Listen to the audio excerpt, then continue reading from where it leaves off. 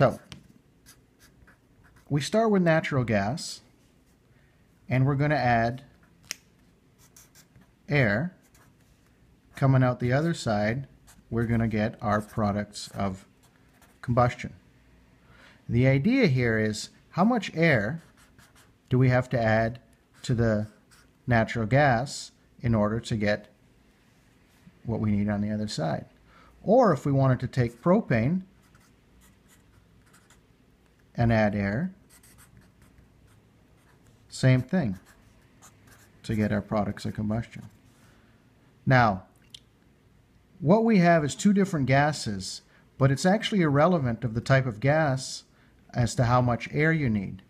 Air requirements are based on BTUs, and they're based on 1,000 BTUs. So the idea is for every 1,000 BTUs, what you need is 10 cubic feet of air for combustion. Now that's actually perfect combustion. Okay? So for every 1,000 BTUs, doesn't matter what type of gas, you need 10 cubic feet of air for perfect combustion. Of that, one third is what we call primary, and two thirds is secondary. Now, as well as having this, we also need to supply some excess air. So for an atmospheric burner a natural draft burner, what we generally say is you supply 50% of um, combustion air. Okay? So, if we have 10 cubic feet of air for perfect combustion, 50% of that is 5 cubic feet. Okay? And we call that excess air. And we can even write down that's 50% of combustion.